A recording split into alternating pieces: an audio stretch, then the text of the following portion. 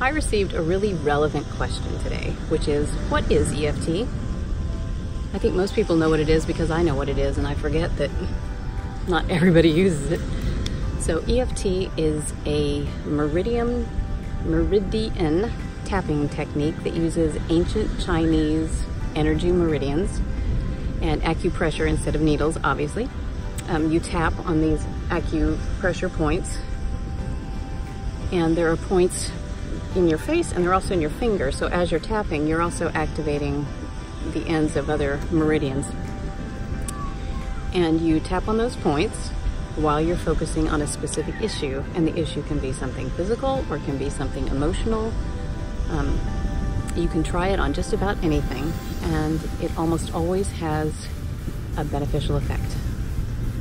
So, um, so that's it in a nutshell. It is meridian tapping with some psychology tossed in. And there's also a little bit of neuro-linguistic programming that is in EFT. So, um, so sometimes people will add in some eye movements and some humming for some right-left brain activity. And all of those things combined are what make up EFT.